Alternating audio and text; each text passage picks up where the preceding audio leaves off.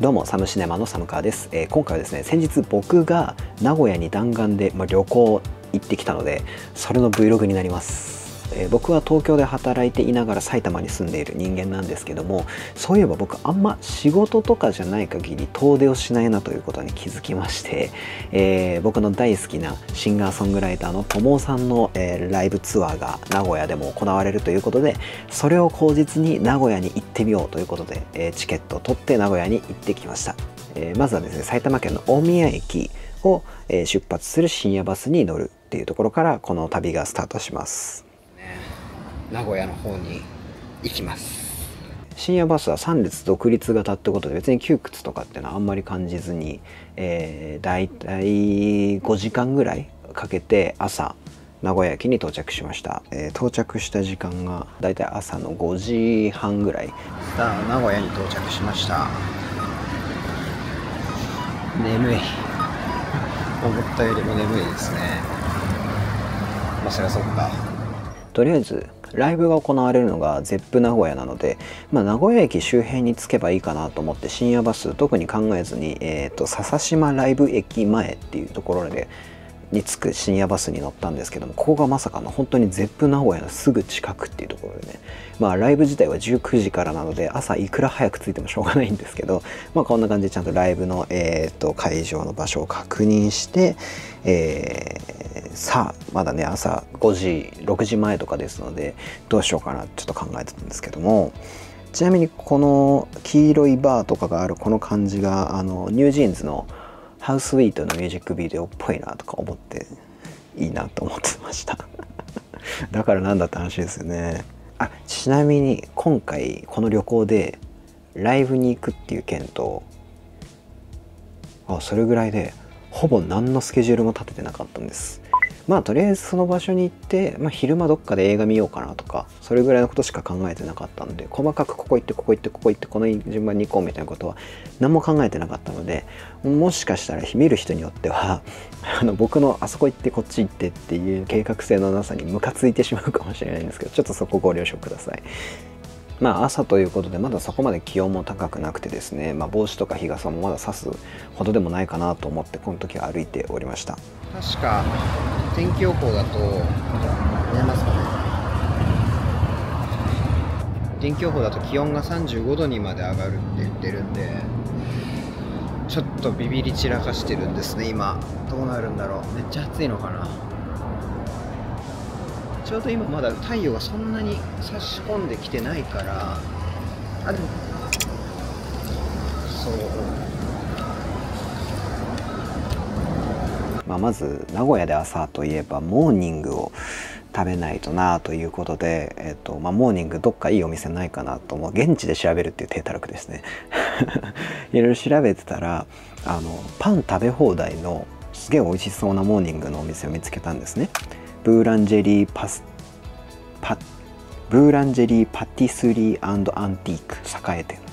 ここじゃんと思って、まあ、そこに向けて歩いていったわけです。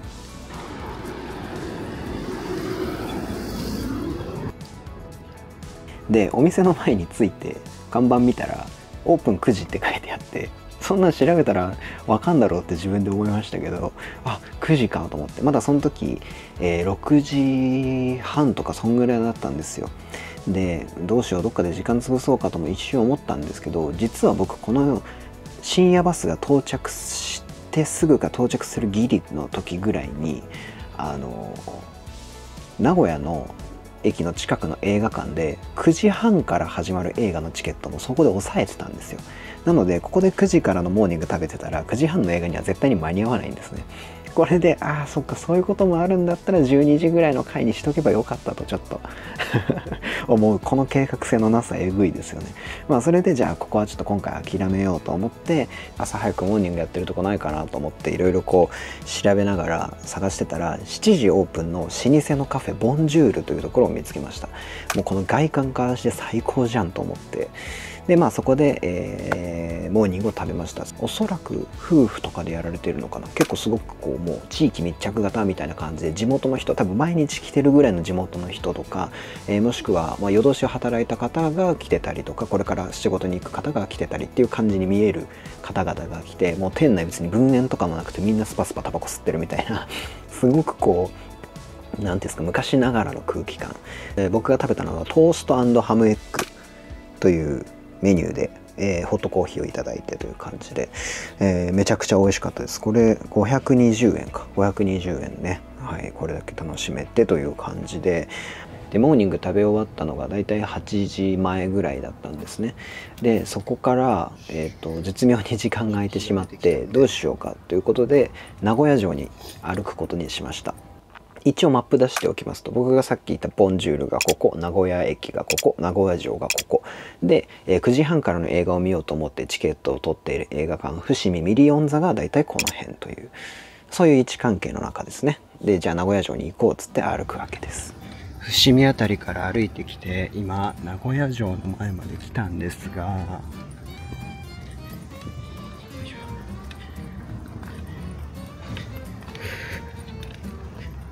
はいここでもまさかのあの調べりゃわかんだろ案件ですね、えー、名古屋城に着いたはいいんですけども。ちょっとまだね8時半前でどうやら名古屋城開くの9時からみたいですね。早く来すぎた。全然あのオープンまで時間があると。でさらにここで9時のオープンを待って名古屋城を見ると何度も言いますけど9時半には映画のチケットを取っているので名古屋城から伏見ミリオン座までの距離を考えるとまあ間に合わないわけですよ。なので一旦ここはもう後で見ようと思って伏見ミリオン座を目指すことにしました。でもこの時からめちゃくちゃ暑くなってきて本当に歩くのがしんどくなってきたんですね。でももうもうひたすら歩き続けましてまあえっ、ー、と途中でこうやってねラムネを飲んだりとかしながら。で、えーと、伏見ミリオン座に到着しました。やっぱりこうどっか旅行行ったりとかしたらですね別にね基本的に映画ってまあどこでも見られるんですけど同じ作品を見るのは。ただやっぱりその土地に行ってその映画館で見るっていうのがやっぱりその体験としていいんじゃないかっていうのを僕は思っているので、まあ、普段全然旅行行かないんですけど。なので、まあ、名古屋行ったら名古屋の映画館に行こうと、まあ、いくつかね例えばシネマスコーレとかいろいろあるんですけど、まあ、ちょうどこう行きやすい位置にあった伏見ミリオン座に行ってきました。中はすごい綺麗で整頓されててちょっとおしゃれな館内ですね。であので店員さんもすごく親切にあのいろいろ案内してくれて売店普通に飲み物とか買う売店とパンフ買う売店違うんですよみたいなんで会計別でみたいな感じでやってくださって。でまあ、えー、行きました。でトイレとかにもものすごいいろんな映画のチラシかなんかの切り抜きがブワーって貼ってあってあのすごく映画愛を感じる映画館でしたね。でまあ映画館着いて僕がチケット買ったのは「ホールドオーバーズ置いてけぼりのホリデー」という映画です。当然これ東京でも見ることができる映画なんですけども、まあ、せっかく旅行行ってっていうことでちょっとあのこれもすごく非常に楽しみにしてた映画なのでちょっとこう思い出になる感じのセッティングで見られたらなと思ってここでセあのこの映画を見ようというふうに決めました。まあここまで散々歩いてきてめっちゃ暑くても汗とかもすごいかいてるでであのトイレとか行って汗拭いたりとかしてなんとかこう状態を整えてですね。で暑いからと思ってアイスコーヒーの結構デカめのやつを買って映画見るあの座席に着いたんですけどあの館内のエアコンすごい効いててちょっと途中何ならちょっと寒いって感じるんだけどでも汗が全然引かないみたいな。でアイスコーヒー飲んでたらどんどん体冷えてって変な体調になってみたいな。なんかあの結構体調がガタガタになっちゃってその見てる間。で変にお腹空いて変にお腹鳴るしみたいな。であとすげえ途中からトイレすごい行きたくなっちゃったけどでも目も離せないしって思って我慢してだからアイスコーヒー全然飲めなくて終わった後にグワーって飲んででみたいな感じのちょっと世話しない体調管理状態になっちゃったのがちょっと悔やまれるとこではあるんですけどでも映画はめちゃくちゃ良かった。んです本当に良かった。今年ベストじゃ効かないぐらいすごい良くてちょっとそれぞれのシーンをちょっと思い出すだにちょっと泣けてきてしまうような映画であの今からちょっとホールドオーバーズの感想を喋り出すと長くなっちゃうからやめますけどこれちょっと一人でも多くの人に見ていただきたい。本当に大好きで大切な映画になりました「ホールドオーバーズ置いてけぼりの堀で」で、えっと、映画館の、えっと、お客さん的にはあんま、まあ、平日の昼間ってこともあってめっちゃ混んでるとかはなかったんですけど安定的にお客さんが入ってるっていうような印象でした、えー、世代間も僕と同じぐらいの男性がいたりとかえっと、同じようなキャリーケースで旅行に来て旅行ついでに来てるのかなって感じの、えー、お客さんがいたりとか老若男女結構問わずいた感じかなであのご年配の、えっと、女性45人組みたいなお客さん入ってきてあの全然上映中も「なんか寒くない？大丈夫?」って喋ってたりとかしててなんかあの なんだろうななんか雰囲気がラフで良かったですね。こういうと含めてこう旅行旅先の映画館に行くっていう体験としてそれはそれであのすごく面白いところだったなというふうに思ってます。でミリオン座さんで映画を見終わって、えー、でここからじゃあ、えー、名古屋城に今度こそ行こうということで歩き始めたんですけどもこの時にめちゃくちゃ暑くなっててえー、もうね確かこの日の最高気温が34とか35度とかでまあねあのもう今7月中旬とかになってきちゃったんでの比べるとまだそこまで暑くなかったのかもしれないんですけどもうこの時にまもうあ途中で気失いそうになるような感じの中、えー、名古屋城までまた歩きました。で当然名古屋城はもう空いてますので中入って、えー、バーッと見て確か天守閣はあのー、快速工事中がなんかで入れなかったのかな。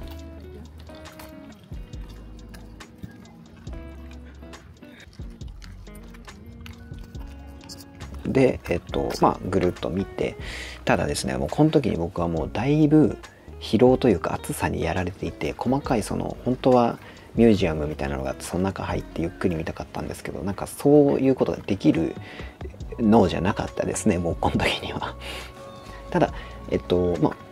平日っていうこともあったのかあのもちろん観光客の方々はいっぱいいたんですけどそこまで混んでて大変みたいなことはなかったですね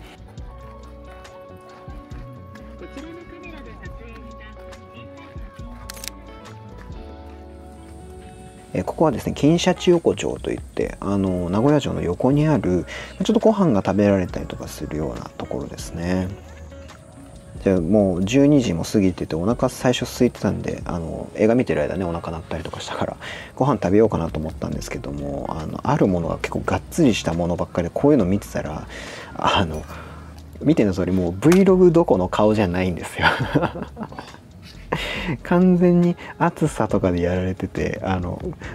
動画撮っていい顔じゃなくなっててで当然食欲もあんま湧かずみたいな感じで。さっきは映画見てる時お腹空いてたのに全然食欲湧かなくなっちゃった。でえっとこの時友達に「今名古屋にいるんだよね」みたいな話をちょっとこう LINE で雑談してたら「じゃあその市役所とか行ったらいいんじゃない?」って言われたんですねなんかロケ地とかでよく使われる綺麗な建物だから行ったらいいと思うよみたいなこと言ってもらってあそうなんだと思って調べたらこれもうね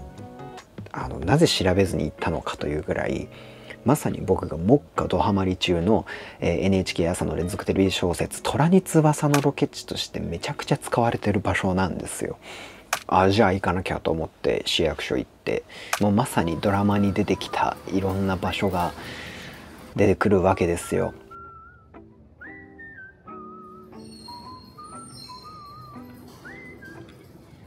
市役所の東棟かなかなんかが、えっと、市政資料館でしたっけ？っていうところで、えー、そこの階段がまさにあのあれは2週目でしたっけ？あの DV 夫とかの裁判を見に行く週でしたけどあそこでの、えー、裁判所として出てきたあの階段があってうわまさにまさにここじゃんということですごくテンション上がりました。まさかこんながっつりトレニツバさんのロケ地だったとはということでねえなんで一切調べなかったのかっていう。まあでもこうやって、あのー、偶然ですけどこういったとこ行けてめちゃくちゃ嬉しかったですね。まさかまさかという感じ。で、えっと、さっきの名古屋城から名古屋市役所ってこれぐらいの距離なんですけどここからさらに中部電力の未来タワーってとこに行きました。中部電力が70周年なのかな？とゴジラが70周年。同じ70周年同士ってことを記念して、えっと、ゴジラの頭部が展示されているんです。あのゴジラマイナスワンのゴジラだと思うんですけど、えー、水面にバーッと顔を出したゴジラがあってこれじゃあ見に行こうと思ってそこまで歩いていきました。で、えっと、ゴジラマイナス1についての僕の感想は動画上げてるので、ぜひ見てください。で、ここでですね、まあちょっと、えー、夕方ぐらいにそのライブのグッズ先行販売があるということでそこで T シャツとかタオルとか買おうと思っていたので一旦ここで、えー、ゼップ名古屋の方に移動しようと思ったんですけどまあ最初はね歩いていこうかなと思ったんですけど僕歩くの好きだから。けどこの暑さでもう限界来まして、えー、タクシーに乗って名古屋あのゼップ名古屋の方に移動しました。で僕はこのグッズ販売がね15時からだと思ってたんです。だからそれに余裕で間に合うようにまあ2 3 0分前に着けばいいかなってその辺うろうろしてればいいかなと思って行ったんですよ。けどグッズ販売があの15時半だっていうことに気づきましてもう1時が万事で全部ルーズだな俺と思いながらそっかじゃあまだ1時間近く時間あんのかみたいなふうに思ってそういえば僕もうご飯食べてないお昼ご飯食べてないと思って、えー、どこでもいいから近くの、えー、ヤバトンに行こうと思ってヤバトンの、えー、名古屋駅名鉄店に行って食べました。でもこの辺りから僕ですね あの疲れが相当きてて Vlog の動画を回すことさえちょっと忘れてこの辺からちょっと動画素材が一気になくなります。でえっと食べたご飯の写真もこんなドアップのものだけっていうね。でご飯を食べてその後ゼップ名古屋に戻ってグッズを買って T シャツとかタオルとか買ってでたのが大体16時ぐらいだったと思うんですね。でこっからは一応予定していたことではあるんですけどちょっと温泉に行こうと思ってだって一日きっと動いて汗だくでそんな状態でライブなんて行きたくないと思っていたから、えっと、温泉を調べてたのでこっからさらに南の方にグーッと行ってえー、山王温泉北の湯という温泉に行きました。全然動画撮ってないからこの写真しかないんですけど なんかすごくあのあのいわゆるスーパー銭湯って言われる類のあれですかね。あの中すごく広くて設備もいっぱいあって温泉の種類もいっぱいあってでここで、えっと、お風呂入って、えー、ここでライブ T シャツに着替えてで、まあ、ちょっと休憩しつつ、えー、いろんなちょっとあの、まあ、仕事関連というか連絡事があったのであの休憩のところでちょっとパソコンパチパチやってみたいな感じで17時過ぎぐらいまでいましたね。でライブが19時なんですけど入場が18時からなんですよ。でえっ、ー、ともしスタンディングだった場合はちゃんと時間通りにいないと整理券番号で入らないとまあ、場所がなくなっちゃうんですけど僕はこの時2階の指定席だったのでそんな焦っていく必要はない。だから18時ぴったりに行く必要もないからちょっとゆっくりねしようと思ってどうしようかなと思って。はい。でさっぱりしたのでバッチリあの動画も撮りつつですねあのライブ会場の方に向かったわけです。もう夕方だからちょっと気温も下がってるかなと、えー、希望的観測を持ちながらライブ会場に向かって歩きました。で当然のことながらライブ着いた時にはまたちょっと汗かいてたりとかしててもうってなったんですけど まああのスタンディング席のいわゆるもうおみくちゃになるようなとこじゃなくて2階席の安定した1人ずつシートがあるとこだったのでそんな他のお客さんに迷惑かかない 位置には行ったあのでよかったなという感じですね。ちょっとはい。もうちょっと計画的に移動すればよかったなと思いました。で夜9時過ぎ、えー、っとライブが終わりあの超楽しかったなという気持ちを胸にですね、えー、帰りのバスと思ったんですけどあのライブ終わったのが21時。で、えーと、バスが出るのが24時とかだったので、まあ、微妙に時間残っちゃってどうしようかなみたいな感じでえっ、ー、と4時発24時15分発なので2時間半ぐらい今時間が余ってしまった。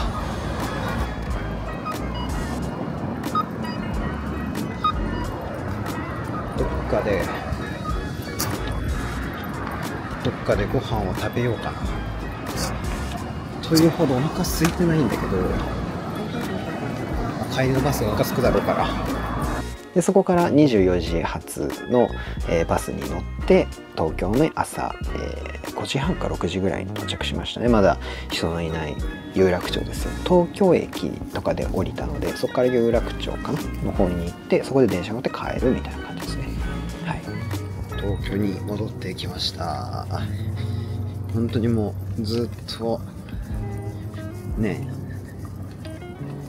何も頭が今働いてないですけど。ねえ。でもめちゃくちゃ楽しかったですあっという間に行って帰ってきて。って感じで名古屋旅行ひとしきり行ってきたんですけどまああの旅行慣れしてるしてない関係なく単純にいろいろあの調べ不足というか ルーズさがすげえ出てんなみたいな感じ。まあでもね一人で旅行してる醍醐味ではありますよ。こうやっていろんなところあちこち自分のタイミングで行けるっていうのは。すごく楽しかったしまああの映画も見てでヤバトンとかモーニングとか美味しいご飯食べてで音楽ライブいい音楽を聴いて超楽しいライブができてっていうできてっていうか、ね、行けてもうエンタメ良質なエンタメをこんな一日にギュッて詰め込んだ一日あんまないからすごく充実してめちゃくちゃ楽しかったです。はいということでですね是非皆さんあのホールドオーバーズめっちゃいい映画なので本当にいい映画なのであのぜひ未見の方は見てください。ってことが伝えたかった。でえっと僕が見たともさんのライブツアーパドルズの感想に関しては僕 Spotify のポッドキャストの方で散々喋ってますので下にリンク貼っております、えー、そっちのライブ体験レポに関してはそちらをお聴きください。ということでまた次の動画でお会いしましょう。ではまた。